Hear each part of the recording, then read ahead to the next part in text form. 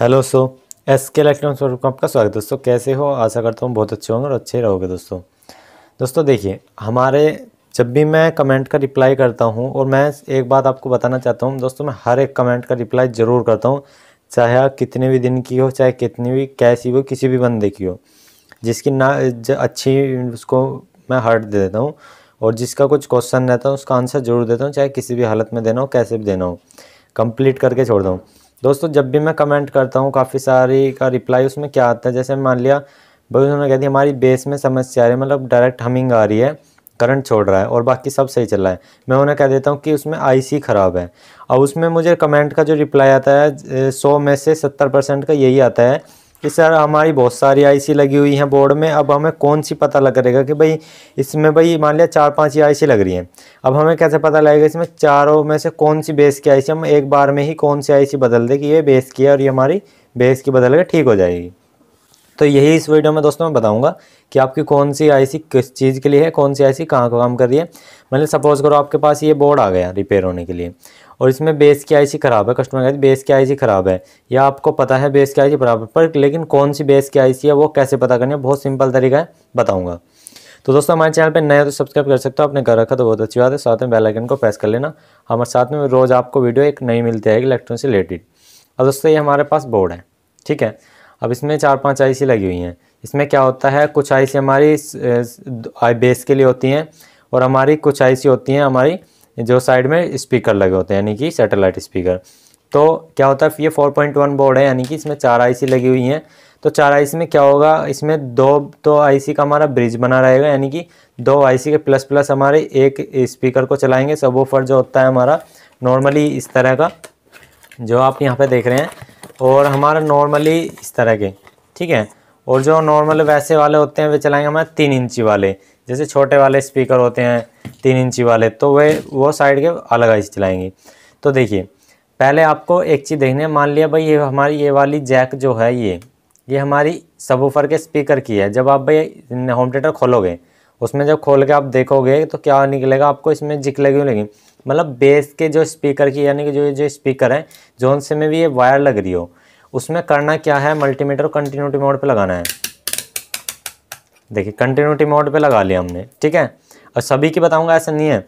तो क्या करना है यहाँ पे? ट्रांसफार्मर को देखना आपको ट्रांसफार्मर कहाँ पे लगा हुआ है? ट्रांसफार्मर जैसे ये बड़े वाली से, लिखा हुआ है सप्लाई तो इसका जो ग्राउंड होता है हमेशा दोस्तों बिच वाली पिन होती है ग्राउंड जैसे ये बिच वाली। तो यहाँ पे मैंने बिच वाली पिन पे रखा रख लिया। तो हमें ये जो मान लिया दोनों पिन है ये बेस की हैं। ठीक है, ये बेस की हैं और अगर आप दोस्तों ये चाहते हैं, जैसे इसमें बहुत सारी ये जो आप देख पा रहे हैं, सभी तरह के अलग अलग जिक हैं ये जो इसमें देख पा रहे हैं, जो जिक है दोस्तों ये, सभी वन बाय वन छोटी, मोटी, बड़ी, सभी का काम जानना चाहते हैं मैं कौन सी आपको कैसी है, कैसे पहचाननी है मतलब ये जिक काई के ये जिक काई के ये जिक काई के ये जिक काई के देखते पहचान जाओगे। कैसे पहचानिए वो वीडियो बनाना आप चाहते हो तो मैं कमेंट में ज़रूर बताना, मैं बना दूँगा। अब देखिए मैन मुद्दा, देखिए, बिच वाली पे मैंने रखा है ग्राउंड पे। पहले मीटर चेक करके दिखाता हूँ। ठीक है? ग्राउंड पे रखा ये, बिल्कुल सेट रख लेंगे एकदम। तो इन दोनों में से आपको कोई सी पे भी एक बार ऐसे देखनी है। अगर आपका बीप साउंड आता है, समझ जाइए एक ही आईसी से चल रहा है। तो दूसरी पिन पे देखते हैं। देखिए, दूसरी पे भी नहीं आ रहा। देखिए रीडिंग बढ़ती जा रही है। और यहाँ पे एक ऐसा टाइम आएगा कि रीडिंग ख़त्म हो जाएगी। देखिए, ख़त्म हो गई, ठीक है? इन दोनों में से हमारी किसी पे भी रीडिंग नहीं आ रही है, देखिए। नहीं आ रही मतलब शॉर्टिंग की। दस ओम से नीचे नीचे आएगी नहीं देखिए यहाँ इन पे किसी पे भी नहीं आ रही। अब इसका मतलब आप समझिए दोनों आईसी का ब्रिज है इसमें। अगर देखिए, एक पिन पे जैसे एक किसी एक पिन पे आ जाती, या इस पे आ जाती है इस पे आ जाती है तो समझिए वो सिर्फ़ एक आई सी चल रही है इसका पॉजिटिव आपका डेट होता है। क्योंकि जो सैटेलाइट का स्पीकर होते हैं और हमारी नॉर्मल जो बेस होती है उनका 2.1 यानी कि सिंगल सिंगल आईसी में ग्राउंड उनका बेस वाले बेस का और बड़े स्पीकर का आपका ग्राउंड जो यानी कि ट्रांसफार्मर का बीच वाला ज़ीरो पॉइंट होता है, उससे जुड़ा होता है। ठीक है? जैसे देखिए स्पीकर के आउटपुट हैं। अब मैं यहाँ पे बीच वाली से आपको चेक करके दिखाता हूँ। देखिए, बीच वाली पे रखा और यहाँ बीच वाली पे देखिए।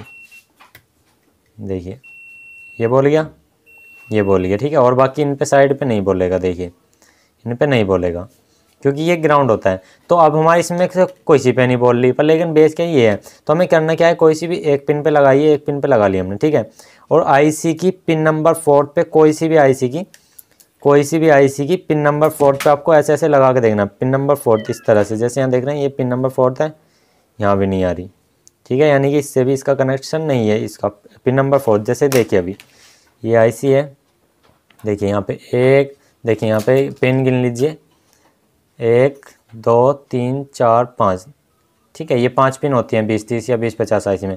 दोस्तों, मैं उनको मना कर रहा हूँ, वो बंदे इस वीडियो को ना देखें, जो चीज़ जानते हैं, जो नहीं जानते, वो देख सकते हैं। और दोस्तों, जो जानते हैं, वो उनको लिए भी एक, ये बहुत बड़ी चीज़ है इसमें कुछ और चीज़ देखिए अब मैंने यहाँ पे लगाई, इस पर नहीं आई। फिर नेक्स्ट आईसी पे चल रहे नेक्स्ट लगानी है पिन नंबर फोर्थ पे। पिन नंबर फोर्थ पे क्यों लगानी है? बीस, तीस या बीस, पचास आई की पिन नंबर फोर्थ होती है स्पीकर की आउटपुट या बेस की आउटपुट मतलब स्पीक जो गेन इससे आउट ऑडियो आउट जाएगी, वो होती है। और आउट ही हमारे स्पीकर पे आती है, ठीक है? तो इस पर देख लिया हमने, इस पर देखते हैं। देखिए, इस पर भी नहीं आ रही पिन नंबर फोर्थ पे। यानी कि बीप साउंड आएगा फुल बीप साउंड तो इस पर देखते हैं। देखिए, इस पर आ गया। पिन नंबर फोर्थ पे लगाते ही इस पर आ गया। यानी कि एक आईसी का इसका पॉजिटिव इससे कनेक्ट है और अगर हम दूसरी पे देखें तो इस पे देखें नहीं आएगा। ठीक है? अब नेक्स्ट चलते हैं। इस वाली पे प्लस को मतलब अगले वाला पॉइंट लगा लेते हैं, देखिए। हमने इस पर तो चेक कर लिया, इस वाली आईसी पे आ गया, देखिए। ठीक है? अब नेक्स्ट वाले पॉइंट पे चेक करते हैं, अगले वाले पॉइंट पे। तो अगले वाले पे चेक करते हैं, देखिए उस वाली पे नहीं है बीप साउंड इस पर भी नहीं है बीप साउंड इस पर भी नहीं है बीप साउंड इस पर भी नहीं है बीप साउंड देखिए। तो दोस्तों, ये जो बेस वाली है जो आप स्पीकर यानी बेस वाले स्पीकर की जो जिग देख रहे हैं, इन दोनों आईसी से कनेक्ट है। अगर आपकी इसमें, देखिए, मैं आपको एक चीज़ बताना चाहता हूँ।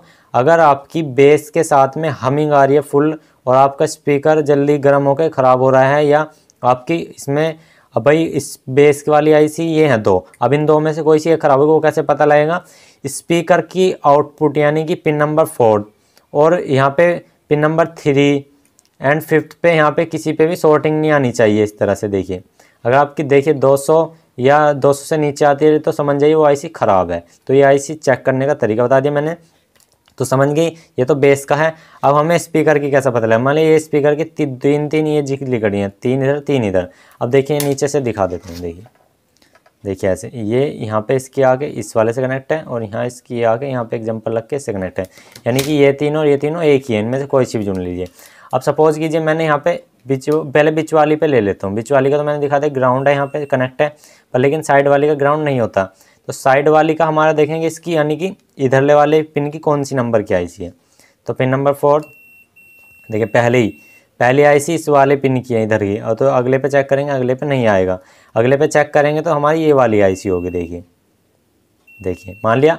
इस वाली पिन में अगर हमारी आउटपुट नहीं मिल रही या डायरेक्ट डीसी मिल तो ये वाली आईसी ख़राब है। और इसमें नहीं मिल रही और डीसी डायरेक्ट मिल तो ये वाली आईसी ख़राब है। तो ऐसे चेक कर सकते हो। अगर आपको इससे आपको अड़ा झूला लग रहा तो फिर एक सिंपल तरीका मैं अभी आपको बता दे रहा हूँ, ट्रैक करना। ट्रैक करना कैसे? अभी थोड़ा देख लीजिए। मान लीजिए, देखिए। भाई आपका ये देख कितनी भसड़ मचा रखी है कोई बात नहीं, कस्टमर की है, मुझे उससे कुछ नहीं लेना। अब देखिए आईसी को पिन नंबर फोर्थ इधर से देख लीजिए कौन सी पड़ रही है। तो आईसी की पोर्ट नंबर फोर्थ इधर से काउंट होगी। एक, दो, तीन, चार, पाँच, ठीक है? एक, दो, तीन, चार, पाँच, ठीक है? ऐसे है। इसकी पिन नंबर फोर्थ देखिए कहाँ जा रही है? ये देखेंगे। पिन नंबर फोर्थ इसकी होते हुए डायरेक्ट यहाँ पे, ये जा रही घूम के, और ये जा रही डायरेक्ट यहाँ पे। ये रही। ये यहाँ पे आके रुक गई है और यहाँ पे ख़त्म हो गई यहाँ पे। तो समझ जाइए स्पीकर की आउटपुट है, यहाँ पे आ गई है। तो अगर हमारी इस लाइन में प्रॉब्लम आ रही है तो सीधे ये प्रिंट ट्रैक करेंगे और हमारी यहाँ पे आ जाएगी। तो यानी कि इस वाली आईसी में फॉल्ट है। अगर इस वाली यहाँ पे लाइन पे हमें आपकी स्पीकर नहीं चल रहा, लेकिन हम इसमें ऑडियो बराबर प्रॉपर दे रहे हैं, ठीक है? अगर नेक्स्ट चलते हैं, देखिए pin number four one two three four five ठीक है? यहाँ फोर आ जाता है। अब नेक्स्ट देखिए, यहाँ पे प्रिंट को ट्रैक करते हुए गए। और ये प्रिंट को ट्रैक करते हुए हम यहाँ पे अगली लाइन पे आ गए। अगली लाइन को, पहले लाइन यहाँ था दूसरी लाइन यहाँ है। और बीच वाले में क्या है यहाँ पे? देखिए, बीच वाले में आपका ग्राउंड किया गया है। यहाँ से एक जंपर लगा के जंपर लगा के यहाँ से ग्राउंड किया गया है। तो देख सकते हैं यहाँ पे एक जंपर लगा हुआ है। देखिए, उसके कैपेसिटर के बीच में देख लीजिए, एक जंपर लगा हुआ है। देखिए, पास से दिखाता हूँ। देखिए, वो वाला जंपर लगा हुआ है, ठीक है? ये मोन्टी का बोर्ड है। तो ये है दोस्तों पहचानने का तरीका कि आपकी कौन सी आईसी किस चीज़ के लिए है। और ये आईसी तो आपको पता ही है क्रॉस ओवर के लिए होती हैं एक्स बेस के लिए। तो ये सिर्फ़ हमारी ऑडियो आईसी सबसे ज़्यादा ये ख़राब होती हैं ये आईसी आपको बहुत ही कम मिलेंगी। आपको यानी कि समझ लीजिए आईसी आपको ख़राब मिलेंगी ही नहीं। तो दोस्तों इसमें का, आपका काफ़ी ज़्यादा आपकी प्रॉब्लम सॉल्व हो गई होगी जो नए नए मकैनिक ये पहचानने में प्रॉब्लम हो जाती है कि स्पीकर की आईसी कौन सी है बेस की आईसी कौन सी है। तो मैं यही बताना चाहता हूँ, अगर मान लिया भाई आपका आर सी सॉकेट लगा हुआ है आउटपुट में। आर सी सॉकेट किसे कहते हैं? देखिए, जैसे ये वाले, ये ये लगे हुए हैं, ये मान लिया ये वाले जो ये सॉकेट लग रहे हैं यहाँ पे देखिए, ये जो ये पिन लगी हुई हैं, ये है। मान लिया इसमें आपको आउटपुट में वोल्टेज मिल रही है तो एक इसकी बिच वाली पिन में अंदर एक पिन प्रोब बाढ़ के मीटर की और आईसी को zone C pin number fourth पे आपको टेस्ट कर करके देखना जोन से पे डायरेक्ट आ रही है, समझ जाइए वो इसकी आईसी है। तो ये पहचान सकते हैं। ये बिल्कुल सिंपल तरीका है। मैंने ट्रैक करके बता दिया और मल्टीमीटर से बता दिया और आपको वैसे ही बता दिया कि ऐसे ऐसे आपको टेस्ट करना है। तो आई होप आपको दोस्तों वीडियो से तो लाइक करना, अपने दोस्तों शेयर करना, कुछ भी प्रॉब्लम कमेंट में से ज़रूर बता देना। आज के लिए इतने दोस्तों मिलते हैं नेक्स्ट वीडियो में। जय हिंद, वंदे मातरम, जय श्री राम दोस्तों। आपका दिन शुभ हो।